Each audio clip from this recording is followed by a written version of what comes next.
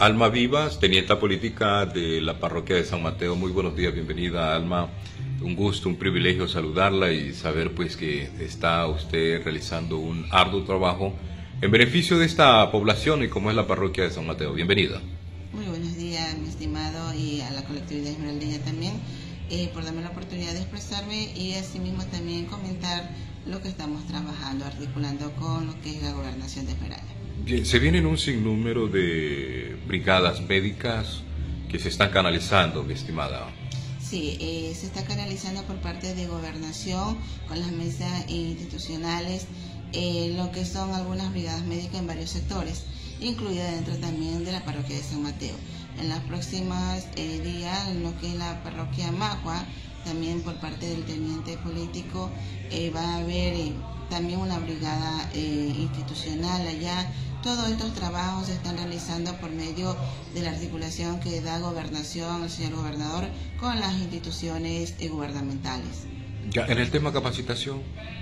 Estamos tratando de llegar con más capacitaciones a varios sectores. Eh, nos estamos enfrascando en lo que es, en la parte educativa.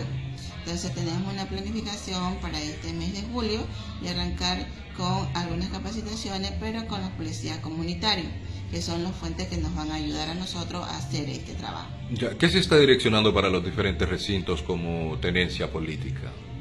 Bueno, nosotros eh, queremos llegar a diferentes comunidades a las que tal vez todavía no hemos tenido la oportunidad de estar más perennemente en el tema para ver cómo nos encontramos en la parte de seguridad, eh, hacer las eh, brigadas eh, de seguridad con ellos. Estamos comenzando, lo hemos hecho, estamos trabajando con la comunidad de Timbre, vamos a hacer en otras comunidades, queremos tener en territorio al señor gobernador, que la gente vea que él está trabajando, que él está yendo al territorio. El señor gobernador está trabajando con nosotros, con los tenientes políticos, en el tema de seguridad.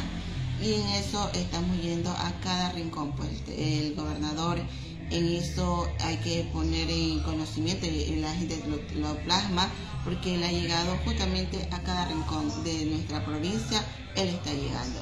Y no va a ser de más también llegar dentro de la parroquia de San Mateo por el tema de seguridad, para fomentar eso en la ciudadanía. Hablar de seguridad, ¿cómo está eh, usted direccionando el tema aquí en cuanto a la cabecera parroquial? Aquí nosotros lo estamos organizando, trabajamos en conjunto con la Policía Nacional, se trabaja desde gobernación articuladamente y se encarga este, pues, en ejecutar ciertos operativos el señor gobernador para brindarle esa seguridad para la ciudadanía esmeraldeña. Muy aparte de eso, pues también se está trabajando desde la Intendencia, Comisaría, pues para lo que es el trabajo de lo que es eh, los permisos, de ver los funcionamientos, los horarios, todo eso socializando pues con las personas que tienen sus respectivos negocios. Ok, muchas gracias Alma Diva.